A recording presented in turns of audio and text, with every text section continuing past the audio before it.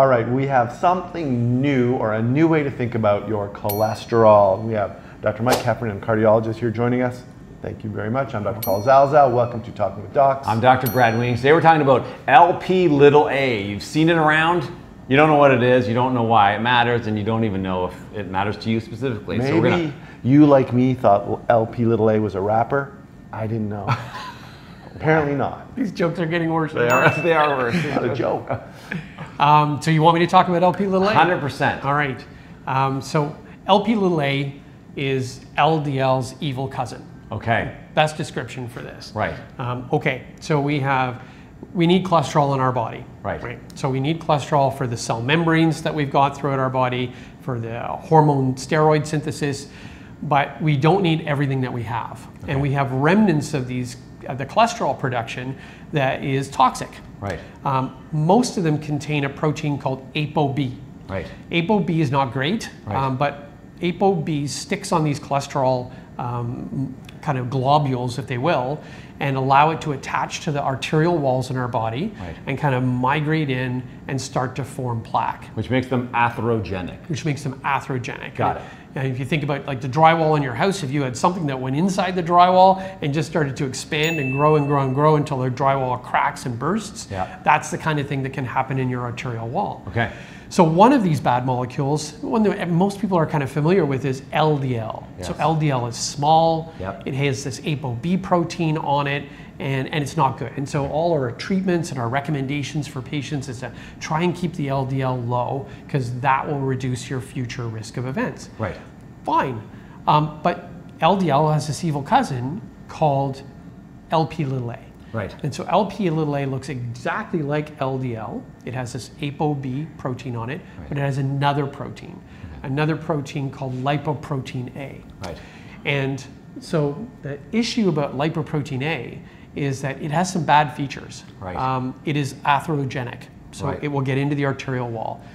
It is also inflammatory. So this molecule has these little nasty spark plugs on it called oxidized phospholipids that are inflammatory for the arterial wall, which is not nice. And then the final part is this lipoprotein A protein is kind of like a clotting factor. Right. And Like plasminogen. yeah, right? it's like plasminogen. And so it promotes clotting. So this thing does three not so good things. Okay. Uh, promotes inflammation, promotes clotting, and is atherogenic. Right. Um, so that's LP little a. Would you also say that LP little a is responsible for this calcification of the valve? Is that a totally independent risk? You know, when they talk about aortic stenosis, where they increases some type of bone or calcium depositing factors that preferentially goes at your aortic So, valve. so that's a fantastic question. And so we'll do another talk at some Okay. other time about aortic stenosis. But the, the thing that LP little a has been most associated with is myocardial infarction. If you have high levels, you're more likely to have a myocardial infarction or heart attack. and when we say higher, like how much higher? Are we talking about like four percent, or um, like orders of magnitude, like two and three times higher? magnitudes, like Okay. two or three times higher above baseline, for Okay. instance. Um, and the other signal was aortic stenosis, to everyone's surprise. Higher levels associated with aortic stenosis, which is a narrowing of the last valve in our heart before the blood leaves the heart, called the aortic valve. Okay. There is a signal definitely for stroke uh, and for heart failure, but the strongest signals are for heart attack and aortic stenosis. Okay. Okay, so now we've got this thing, lipoprotein little a, which you'd think might have been named in Canada. It's not because of the A. It's actually an international thing. Lipoprotein little a, and something we can measure in your bloodstream Can measure. and has association with these cardiovascular events. Right. Now, is it is it causative or is it an association? Do we know that if we alter the lipoprotein A, we can alter those events, those cardiovascular events, or is it just oh because you have the genes that make lipoprotein A, you also have the genes that cause heart attack, aortic stenosis, and stroke?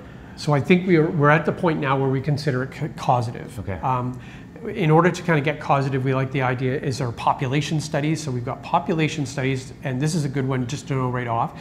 80% of us have a normal value. Right. So, so four out of five of your listeners are not going to have a high LP little a, but one out of five will. Right. Um, there's some regional variations as well. So in Canada, the United States, Australia, Europe, about 20% of the population will have a higher value. Okay. Okay. Highest values on the African continent and Southeast Asia, maybe on the order of 30%. lowest values South America and Asia proper. Right. And so there's some global variations, um, but you alluded to it because it's genetic. Right. Um, you can't change your value Right. um, by diet and exercise. And currently, we don't have any medications on the market that are available to lower it, although these are being actively studied. So there are clinical trials ongoing Okay. um, that will lower your LP little a on the order of 50 or 60 percent. And we're trying to figure out, okay, so you have a high LP little a, you've had a heart attack in the past, um, lower it and show me that you're going to have reduction in events. So that's Right. what we're going to try and prove. Okay, and, and this is interesting. If, if you're one of those viewers who really hates big pharma, you're, you're watching the process now. There's been something identified in biology that is harmful for your health. There are people now actively trying to find a way to alter that, and that takes money and that's a business, right? And that's sort of the overlap between healthcare and industry because these pharmacologic companies are going to be like, yeah, we're going to try and find a way to lower that so that people have less heart attacks, strokes, and aortic stenosis, but that's going to translate into a, a drug or a product that's going to cost money. So that's the process. You're watching it in its earlier stages unfolding now. Yeah, that's fair. There, um, women and men have similar values. Right. Um, women, post-menopausal women, tend to have a value that's a little bit higher. Okay. So there aren't a lot of lifestyle things that change LP little a, but but that's one of them. Right. So so now we know about this molecule. Is the average family doctor or the average cardiologist are they ordering? Uh, is there an LP little a blood test that we can do so you get that one value? Obviously, if you can't change it, you just need to know it once. Then for those people, hey, y- you're good or you're not good.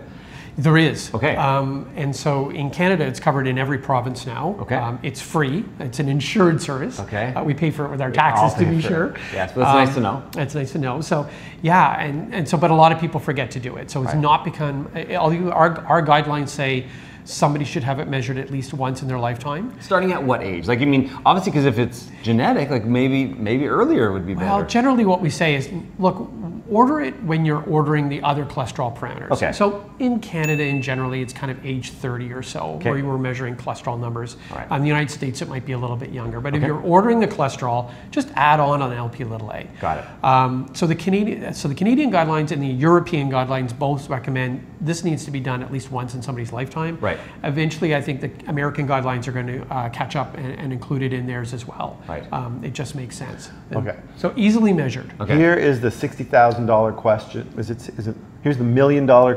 How much is that question at right now? I don't know. It's gone Who up, I'm sure. Here's the billion dollar question. I have an elevated LP little a. Right. What can I do about it? Right. So that's fair. That's a fair question. Or, or doc, why are you even measuring Right, this? you can't do because you're telling me you haven't got any way of treating it now I'm just nervous. Yeah. Now I'm just Now, nervous. Basically, I'm going to get my affairs in order if I have an elevated LP little a. That's Right. all I'm getting so far. So the answer to that, and what we tell the family doctors, because they ask us the same thing, is look, you've flagged somebody in your chart or in your practice that is at higher risk. So it gives you a chance to then explore the lifestyle things that we actually just talked about in the blood pressure video, like healthy weight. Yep. If they're smoking, don't smoke. Um, if they're not exercising regularly, exercise regularly.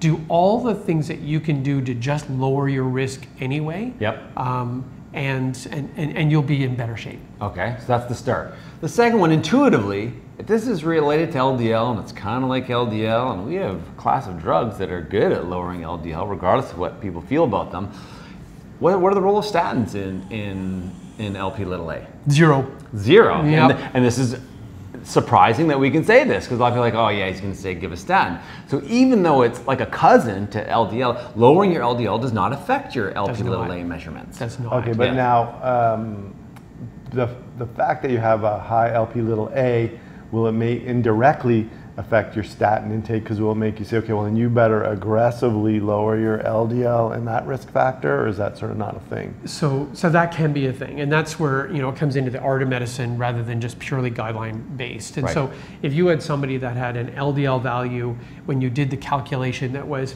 okay but mm-hmm. not great, you know that might be where you have a really thoughtful conversation with the patient, saying, "Look, this value is on the on the edge, but your LP little a value flags you as somebody that's pretty high risk. Why don't we try and lower your So your high normal way?" really is high. We're going to get you down Yeah. to normal. Yeah. So I think we were talking just before we came on air that there is one class of medications that is uh, on the market Yes. that does lower LDL called the whole class is called the PCSK9 inhibitors, and they're injectable medications that we use to lower LDL in people, you know, with really high values of LDL that's hard to get down. Right. Interestingly, it actually lowers LP little a about 30 or 40 percent. Oh wait, so there is something. Yeah, there. nobody nobody really knows why, but I also can't tell you if lowering LP little a a is actually going to make it'll lower their LDL, but I don't know if it's going to reduce their their. LP little a risk. That's why you have to do clinical studies to figure it out. And these are, I'm assuming, being There, done right there, now. there's actually two that are ongoing right now. okay. Yeah. Wow, well, stay tuned because we will, as soon as those clinical studies show some results, we'll let you know about those results. Because now I'm a little nervous about LP little a, and I'm going to go get mine checked. I think if my family doctor Yeah. is into that. And so the, the take home message today then is obviously continue to do all the lifestyle things that we just talked about for your blood pressure, for your cholesterol normally. So eat healthy, exercise, get rid of your bad habits. But if you do have an elevated LP little a, that just encourages you to do these more than average because you are at slightly higher risk of Yeah. a bunch of different things. Yep. All I should have called it LP big A because it's kind of like It's a big problem. Yeah. With an exclamation mark, maybe. little a sort of undermines it a little bit. Leave your comments if you've had this blood test done, if you know anything about it or want to talk about it more, leave it in the comments. And if you like this video, please like it, subscribe to our channel. Thanks, little B. And remember, you are in charge of your own health. We'll see you next time. Thanks.